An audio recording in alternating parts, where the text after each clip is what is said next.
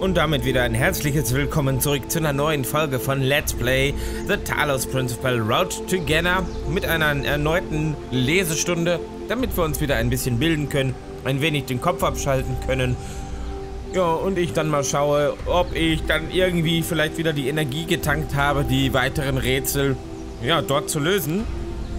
Ähm, die nächsten Sachen, die hier anstehen, sind verschiedene Anhänge. Das heißt also wieder, dass das irgendwelche verschiedenen Geschichten höchstwahrscheinlich sind. Also lehnt euch wieder zurück, macht die Augen zu und versucht die Geschichten dann äh, jeweils zu genießen. Aber wir schauen doch einfach mal ganz genau. Vielleicht ist es ja auch nur eine normale Geschichte.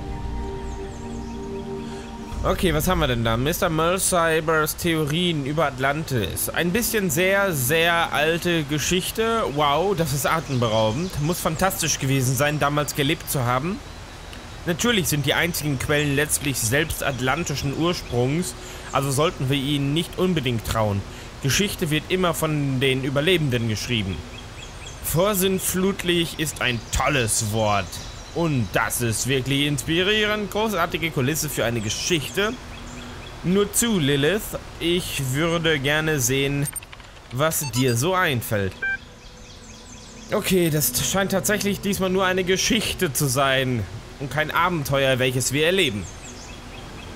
Mr. Malcybers Theorien über Atlantis. Gemäß den Wissensbruchstücken, die uns überliefert wurden, war der Kontinent von Atlantis eine Insel, die von einer, von, vor einer großen Flut in einem Ozean existierte, welcher heute Atlantik genannt wird. Man sagt, dass die Insel so groß war, dass Seefahrer, die für ihre Schönheit und ihre reich verzierten Schiffe bekannt waren, von ihrer westlichen Küste aus sowohl den Süd- als auch den nordamerikanischen Kontinent ohne Schwierigkeiten erreichen konnten. Der Kontinent Afrik, von dem unsere Vorfahren stammten, war ebenfalls über eine schmale Meerenge erreichbar. Die Zivilisation, die in Atlantis aufblühte, war in Weisheit und Ruhm unübertroffen. Aber dann brach eine Katastrophe über sie herein. Eine Flut, deren Zerstörungskraft alle bisherigen Vorstellungen überstieg, welche die atlantische Zivilisation einfach nicht überwinden konnte. Allerdings hatte die vorsinnflutlichen Wissenschaftler von Atlantis ihr Schicksal vorhergesagt und schickten zwölf Schiffe, um auf dem ganzen Erdball Kolonien zu gründen. Die meisten Atlanter gingen mit ihrer Insel unter, aber nicht alles war verloren. Obwohl die klassischen menschlichen Zivilisationen bloße Überbleibsel der atlantischen Kultur darstellten, gediehen sie doch auf ihre eigene Art und Weise. Quellen deuten darauf hin, dass viele mythologische Geschichten in der Tat von der atlantischen Geschichtsschreibung abgeleitet wurden. Zum Teil durch mangelhafte Archivierungsmethoden, zum Teil durch Missverständnisse und oder Verschönerung durch spätere Generationen wurden langsam Fakten in Legenden verwandelt. Die Götter, die in vielen Mythologien erscheinen, waren tatsächlich Reflexionen realer Personen, Dichter, Ärzte, Landwirte, Wissenschaftler, Zauberer, die Atlantis auf den zwölf Kolonieschiffen entkommen konnten. In vielerlei Hinsicht ist die Geschichte von Atlantis die Geschichte des hartnäckigen Fortbestands einer Zivilisation durch Katastrophen und Veränderungen. Diese Geschichte inspirierte unsere Vorfahren über Jahrhunderte und ist auch für uns von Wert. Eine sehr alte Geschichte über Atlantis. Gut, wunderbar. Dann Episode 126, Episode 127. Dann machen wir das doch mal in der Reihenfolge. Die Abenteuer von Jefferson Goldboom in Menschenwelt. Dann... Ach so. Ich habe jetzt gedacht, ich könnte jetzt erst die Geschichte auswählen. Na gut, dann lesen wir erstmal, was die alle so zu sagen haben. Hey Leute, es ist mächtig was los hier in Genna. Aber verpasst bloß nicht die neue Folge. Vergnügen gleich wahr. Mit all den komischen Gerüchten, die hier in letzter Zeit die Runde machen, bin ich froh, an die Schönheit der Welt, die wir hier erschaffen haben, erinnert zu werden. Hey, ich bin frei, aber ich schaue immer noch regelmäßig vorbei. Ich liebe diese Geschichte. Ein Hurra für die Dinosaurianer. Dinosaurianer? Oh, bin ich mal gespannt. Dinosaurianer? Erinnert mich gerade so verdammt an die, ähm, an die äh, Serie, die es mal gab. Und zwar nämlich die Dinos. Schön mit Brille auf, ne? Die Dinosaurianer. Ähm, wo war ich denn jetzt? Ach, da. Ähm, das ist ziemlich schlau. Ich habe ja immer gedacht, dass die Geschehnisse vor Folge 69 die Handlung irgendwann mal beeinflussen würden. Aber ich bin doch überrascht. Danke, Lilith. Mit dieser Enthüllung habe ich besonders lange gewartet. Ausgezeichnet. Äh, weißt du, das ist bei Weitem nicht so tief wie die Beiträge von The Blacksmith oder so seltsam wie die von Belial, aber ich lese immer weiter. Ich bin mir nicht sicher, ob Dinosaurianer gepanzerte T-Shirts tragen würden. 4 von 10. Es ist nur eine Geschichte, Frankenstein. Es geht darum, Spaß zu haben. Weiter so, Meg. Hoppla, danke, Admin. Ad, Admin. Admin. Ich bin sehr geehrt, dass du meine Geschichte liest. Ach so. Ehrlich jetzt, jetzt haben sie für... Da. So, eine etwas längere Geschichte mal wieder. Einmal strecken, einmal recken, einmal die Abenteuer des Jefferson Goldboom in Menschenwelt Episode 126, auf die ihr so lange gewartet habt, folgt jetzt. Die Realität wurde unscharf. Winzige blaue Symbole schwebten durch die Luft. Stimmen hallen in der Ferne. Dann tat sich eine unermesslich große Landschaft vor ihnen auf. Tausende von Türmen einer neben dem anderen, reckten sich in den Himmel und verschwanden in den Wolken. Jeder Turm war mit verschiedenfarbigen Federn bedeckt, die im transdimensionalen Wind flatterten. Ach du liebe Güte, flüsterte Ginny HD voller Ehrfurcht. Jefferson konnte nicht antworten. Er war zu sehr von der Schönheit der neuen Dimension überwältigt. Er ergriff seine Gitarre und improvisierte ein neues Solo, um seine Gefühle richtig auszudrücken. Wer hat wohl diese erstaunlichen Strukturen erbaut? fragte Ginny. Es gibt nur eine Möglichkeit. Erinnerst du dich an unsere Paleo, pa Paleo DNR-Forschung am Institut? Du glaubst doch nicht, aber es macht Sinn. Natürlich. Ja, schau dir nur die Größe der Gebäude an. Wer sonst würde so viel Platz brauchen? Das stimmt. Die Dinosaurianer. Als ob sie von Genies Worten herbei, her, herbeibeschworen worden wäre, raste in diesem Moment eine Gruppe Raptoren auf Motorrädern die Straße herauf. Sie trugen Bandanas auf ihren Köpfen und gepanzerte T-Shirts an ihren Körpern. Freunde, sagte Jefferson, wir sind aus der Menschenwelt gekommen, um euch zu helfen. Wir sind nicht eure Feinde. Aber die Raptoren schienen ihn nicht zu verstehen. Sie stiegen von ihren Motorrädern mit rostigen Rohren in den Händen und Augen, die wie Laserstrahlen glühten. Diese Situation könnte sehr schnell gefährlich werden. Doch dann hatte Ginny eine Idee. Jefferson, spiel den neunten Akkord.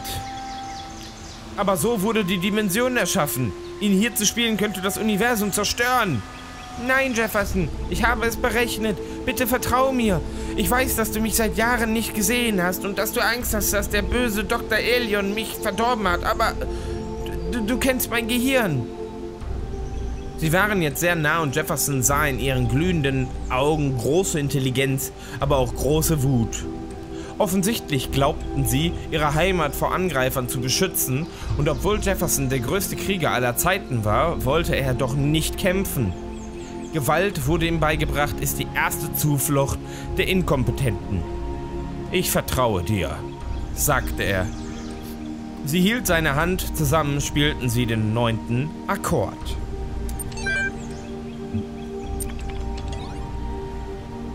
So, damit habe ich dann die Geschichte auch abgehakt. Das Gute ist, man kann jetzt hier direkt weiterlesen, damit man weiß, nämlich wie das ganze Ding jetzt weitergeht.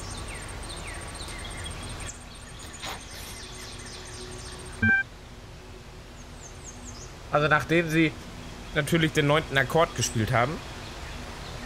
So, was haben wir denn da? Hey Leute, eine neue Folge. Ich kann nicht aufhören zu schreiben. Wir sind... Entschuldigung. Äh, wir sind ähm, einem wichtigen Wendepunkt nahe. Dies scheint eine der persönlichsten Episoden, die du bis jetzt geschrieben hast, zu sein. Ginnys Rede kommt sehr plötzlich, aber sie gibt dem Charakter viel mehr Komplexität. Und nein, nicht der löstronische Superantrieb. Selbst der Kriminalmagier fand es unmoralisch, ihn zu benutzen. Was denkt sich Dr. Elion? Ich hoffe, sie schaffen es zurück. Sehr plotlastig, nicht genug Charakterisierung. Lenkt die Serie in eine potenziell interessante Richtung. 5 von 10 Punkten. Gut, Fra Frankenstein, Frankenstein hat zumindest letzte Folge 4 gegeben, jetzt 5. Scheint sich also grundsätzlich zu bessern. Sam ist wieder voll dabei, Vergnügen gleich wahr. Äh, ich bin froh, dass sie das ohne Gewalt bewältigt haben. Ich habe immer geglaubt, dass die Dinosaurianer ein zivilisiertes Volk sein würden. Kurz nachdem ich das hier gepostet habe, hat Uriel mich befreit. Ich weiß nicht, was ich sagen soll. Deine Geschichten sind ein wichtiger Teil. es tut mir leid. Ah, oh, Hilfe. Ah, ich muss erstmal. Ich muss mal kurz einen Schluck trinken. Oh Gott. So. Jetzt hoffe ich, dass das ein bisschen besser. So. ja. Ähm, deine Geschichten sind ein wichtiger Teil dieser Gemeinschaft, Mac. Uriel kann das nicht ändern. Und Episode 127 lesen, die wohl anscheinend ein bisschen länger ist als die letzte Episode. Der neunte Akkord hallte durch die neunte Dimension. Die Dinosaurianer blieben abrupt stehen. Ihre Augen wurden rund. Sie ließen ihre Waffen fallen und verbeugten sich vor Ginny und Jefferson. Ehrwürdiger Gast, sagte einer von ihnen. Du hast unsere Nationalhymne ausgezeichnet gespielt. Ich bin John Malcolm, Anführer der Velociraptor Motorradinitiative. Freut mich, dich kennenzulernen, John. Ich bin Jefferson Goldboom vom Goldboom Institut und das ist Professor Genie HD vom Kasurati Weierstraß Jazz Ensemble. Es tut uns leid, dass wir euch beinahe angegriffen haben, aber ein anderer Angehöriger eurer Spezies ist kürzlich durch unsere Gemeinde gereist und sein Verhalten war sehr unangemessen. Das war Dr. Elion, mein Erz... Oh, äh, Entschuldigung. Das war Dr. Elion, mein Erzfeind, sagte Jefferson. Ich bin hierher gekommen, um ihn mit seinem Verbrechen zu konfrontieren und ihn vor Gericht zu stellen. Das war also sein Name. Ein fürchterlicher Schurke. Aber ihr werdet ihn nicht mehr in unserer Dimension finden, meine Freunde. Er ist zurück in die Menschenwelt geflüchtet und er hat unsere wertvollste Erfindung mitgenommen. Den lystronischen Superantrieb. Er kann jedes Rätsel mit unglaublicher Geschwindigkeit lösen. John Malcolms Augen waren voller Bedauern. Oh nein, sagte Ginny. Mit dem loströnischen Superantrieb kann er das uralte Rätsel, das das Tor der mysteriösen Holomorphen beschützt, lösen.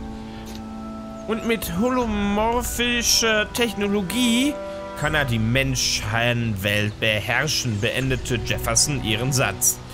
Das ist viel schlimmer, als ich dachte. Wir müssen etwas tun. Wir müssen zurück.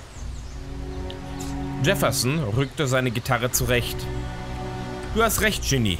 Wie immer. Aber es ist uns so. Aber er ist uns so weit voraus. Können wir es überhaupt schaffen? Jefferson, ich war jahrelang gefangen und manchmal habe ich die Hoffnung aufgegeben. Aber mir wurde klar, dass ich weitermachen musste, dass ich die Hoffnung nicht sterben lassen durfte, auch wenn es unmöglich erschien, dass ich jemals entkommen würde. Denn die Alternative war Wahnsinn. Ich habe mir gesagt, dass ich entkommen würde, weil ich entkommen musste. Und genau ist es jetzt. Können wir es schaffen? Wir müssen es schaffen. Und deshalb müssen wir glauben, dass wir es schaffen können. Und wir werden es schaffen. Um jeden Preis. Um jeden Preis? Sogar wenn wir dabei sterben? Wir könnten hier bleiben, weißt du?